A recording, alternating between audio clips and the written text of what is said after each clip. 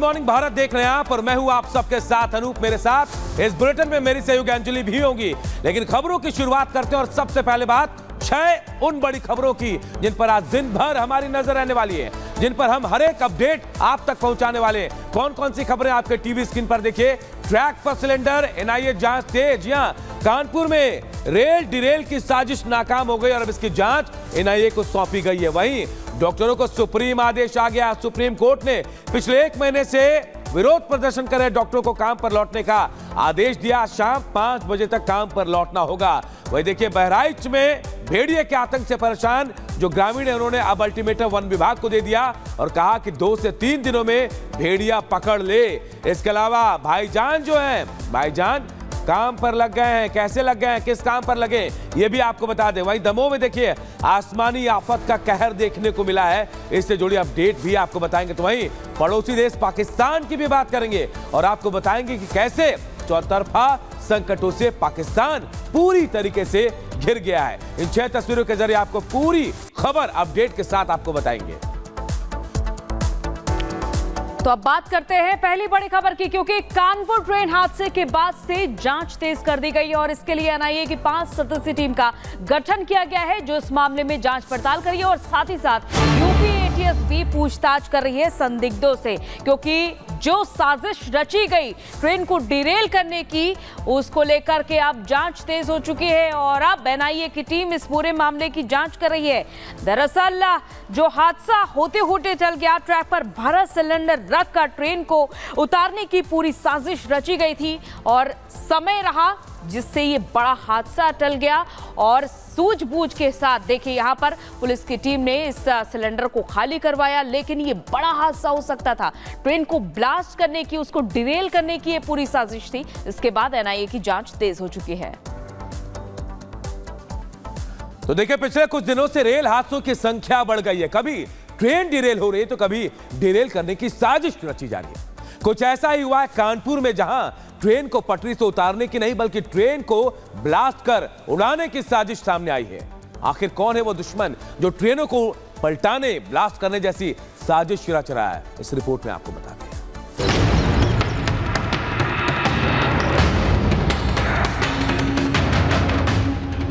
क्या देश में रेलवे के खिलाफ साजिश हो रही है? क्या उत्तर प्रदेश में ट्रेन हादसे कराने की कोशिश की जा रही है? क्या रेल की पटरियों को टारगेट किया जा रहा है? क्या बढ़ती रेल विरोधी हादसों के पीछे देश विरोधी ताकतें काम कर रही हैं? क्या ट्रेन हादसों की साजिश के पीछे आतंकवादी कनेक्शन उत्तर प्रदेश के कानपुर में 8 सितंबर की रात जो पुलिस को मिला उससे कई सवाल खड़े हो रहे हैं। अचानक, रेल की पटरियों पर सिलेंडर, बोतल में पेट्रोल, लोहे की रॉड, लकड़ी के खंभे, एलॉय व्हील की रिम जैसी चीज़ें मिली। तो ज़ाहिर तौर पर आशंका बढ़ती है कि क्या देश में रेल हादसों के लिए पटरियों पर साजिश रची जा रही है। अब सबसे बड़ा सवाल यही है कि क्या इस घटना के पीछे भी आतंकी संगठनों का हाथ है? सवाल ये भी कि क्या देश में बड़ी आतंकी साजिश को अंजाम देने की कोशिश की जा रही है? और इसके लिए टारगेट ट्रेनों को किया जा रहा है।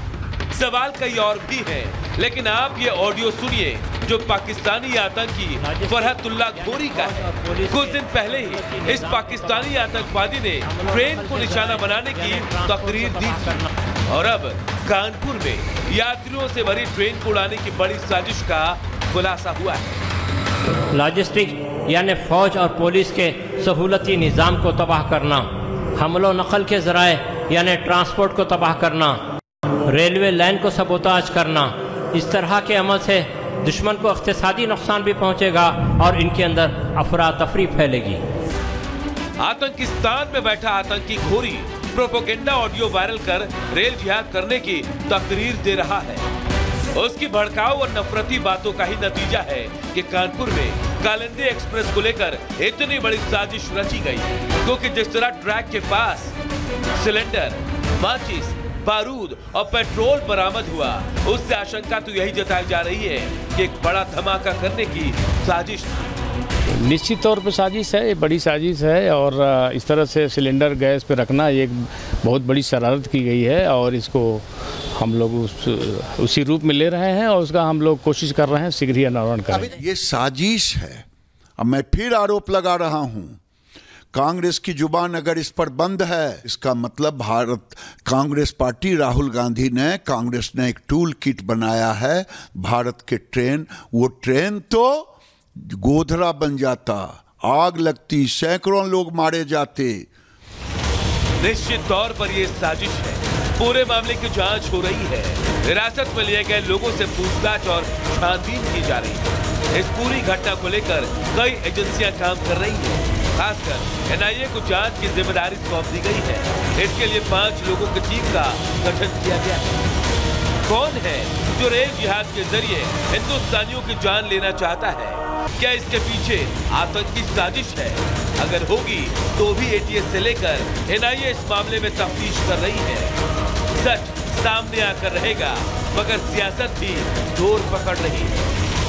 भारतीय जनता पार्टी के स्टैंडर्ड के अनुसार गिरिराज सिंह कोई नेता होगा। हम लोगों के हिसाब से वो इस लायक भी नहीं है कि उसकी कही हुई किसी भी बात पे कोई प्रतिक्रिया भी दी जाए। राज्य का जो बयान है वो केवल केवल भारत सरकार मोदी सरकार अपने आप को बचाने की कोशिश कर रही है और लोगों का ध्यान हटाने की कोशिश कर रही है। ये कोई संयोग नहीं है बल्कि एक साजिशी प्रयोग दिखाई पड़ता है। साजिश के आका आका कहाँ पर हैं उनके तह तक जाने की ज़रूरत है। ये वक्त सियासत का नहीं सावधानी का है। जो भी डिरेल की साजिश रच रहा है चाहे उसके तार पाकिस्तान तक क्यों ना हो गुत्थी सुलझाकर गुनहगारों को सलाखों तक पहुँचाया जाएगा। ब्यूरो रिपोर्ट रिपब्लिक और इधर कोलकाता रेप मर्डर मामले से जुड़ी खबर आपको बता रहे हैं। दरअसल सुप्रीम कोर्ट ने डॉक्टर्स को काम पर लौटने के आदेश दिए हैं। उन्होंने कहा है कि शाम पाँच बजे तक डॉक्टर्स काम पर लौट जाएँ, वरना सरकार इसके खिलाफ कार्रवाई करे अगर डॉक्टर काम पर नहीं लौटते हैं, क्योंकि करीब एक महीने से डॉक्टर हड़ताल पर हैं। जिस तरह से कोलकाता में ट्रेनी डॉक्टर्स के साथ रेप और मर्डर का मामला सामने आया था। उसके बाद से तमाम डॉक्टर्स में आक्रोश है और लगातार एक महीने से प्रदर्शन भी जारी है और इसके बाद सुप्रीम कोर्ट का यह आदेश कि पाँच बजे तक काम पर लौट जाएँ।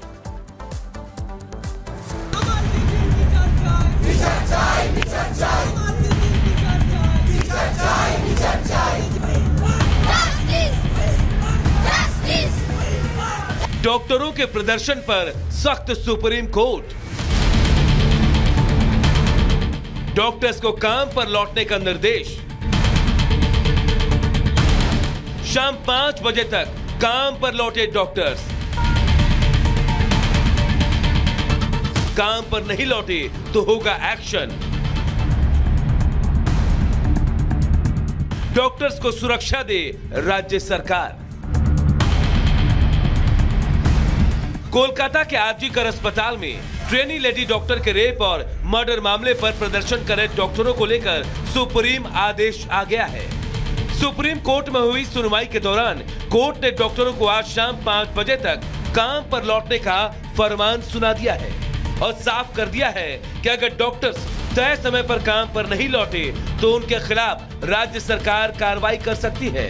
सुप्रीम कोर्ट ने फिर से सीबीआई को बोला कि फ्रेश स्टेटस रिपोर्ट फ़ाइल करने के लिए। एक तरीके से जो इन्वेस्टिगेशन था पहले का उस पर सवालिया सवालिया निशान उठाया है और जितने भी डॉक्टर्स हैं, उनको काम पे वापस आने के लिए बोला है कि आप वापस आकर के फिर से, क्योंकि आप बहुत ही, आप जिम्मेदार एक डॉक्टर का रोल होता है तो इसलिए उनको वापस आने की बात कही। वहीं इस मामले की जाँच कर रही सीबीआई को, कोर्ट ने फ्रेश स्टेटस रिपोर्ट देने को कहा है। इस दौरान सुप्रीम कोर्ट को बताया गया कि डॉक्टर्स डरे सहमे हैं। उन्हें धमकियाँ मिल रही हैं।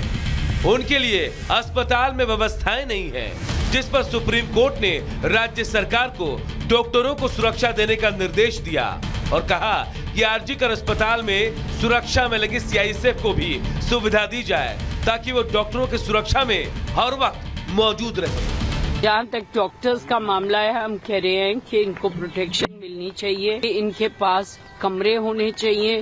फीमेल्स के साथ अलग मेल्स के साथ अलग सीसीटीवी होनी चाहिए। आरजी कौर में सीआईएसएफ होनी चाहिए। उसका बंदोबस्त बहुत अच्छा होना चाहिए। आपको बता दें कि 9 अगस्त को कोलकाता के आरजीकर अस्पताल में हुए ट्रेनी डॉक्टर के रेप और मर्डर के बाद से ही देश भर के डॉक्टर विरोध प्रदर्शन कर रहे हैं। ऐसे में पिछले एक महीने में मेडिकल सेवाओं पर काफ़ी असर पड़ा। अकेले बंगाल में इलाज के अभाव में 23 लोगों की मौत हो गई।